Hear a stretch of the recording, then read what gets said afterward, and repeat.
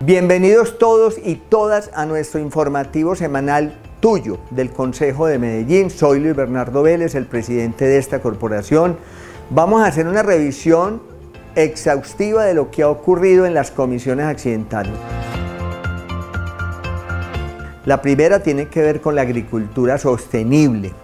Un territorio como el de Medellín tiene más del 70% de territorio rural y campesino y la pregunta es cómo ponemos a producir comida, cómo valoramos nuestra población campesina y cómo mejoramos la situación de abastecimiento de comida y alimentos hacia la ciudad de Medellín urbana.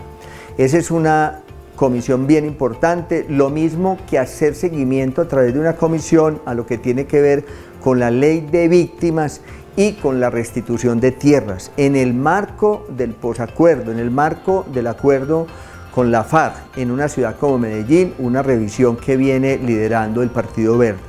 También trabajamos en las comisiones Los Inquilinatos, hogares de paso, cuartos donde viven 4, 5, 7 personas. Tenemos en Medellín más de 22 mil personas que habitan estas inquilinatos en unas condiciones deplorables, en unas condiciones de mucha vulnerabilidad y vulneración de sus derechos, de techo, de alimentación, de violencias, de, falta de salud, de falta de empleo, de educación.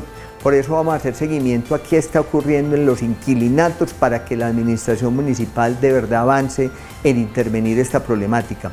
Hemos trabajado también muchísimo desde las comisiones, lo que tiene que ver con las juntas administradoras locales en los 16 territorios y comunas urbanas, pero también en los 5 corregimientos de Medellín, qué están haciendo los ediles, cómo están acompañados por la administración y qué podemos ayudar desde el Consejo para que su trabajo sea de mucha importancia y mucho impacto en los territorios. El Consejo ha sido llamado entre el 8 y el 24 de este mes de septiembre por parte de la Administración a revisar y aprobar unas eh, vigencias futuras en lo que tiene que ver con infraestructura vial, de carreteras, de, de, aceras, de andenes, pero también en lo que tiene que ver con el programa de alimentación escolar en las escuelas públicas de la ciudad para tener la posibilidad de garantizar la continuidad y nunca la interrupción de programas tan importantes como la seguridad alimentaria. Vamos a estar trabajando en estas extraordinarias